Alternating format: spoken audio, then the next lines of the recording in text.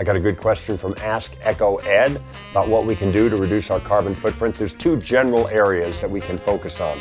One is transportation, how we get from point A to point B, and two is home energy use. In the transportation realm, uh, there's nothing more cost effective than public transportation. Uh, and that's what I uh, do long before I ever consider riding around my electric car. Uh, and the other is uh, bicycle. Now again, bike riding weather and fitness permit, public transportation if it's available near you.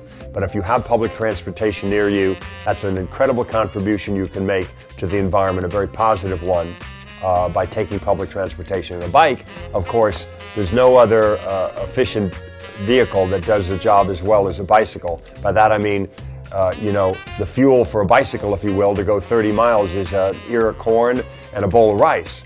And that's, uh, you know, the fuel stock that you're using to get that distance you would need a bushel full of uh, corn to go 30 miles in an ethanol vehicle.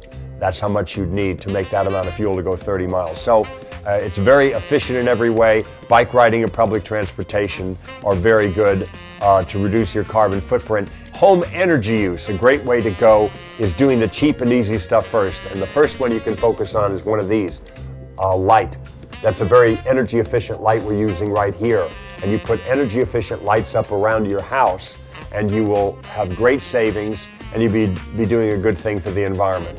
Other home energy use tips are weather stripping around your doors and windows and uh, an energy efficient thermostat. Those are good ways you can reduce your carbon footprint, help the environment, and of course save money.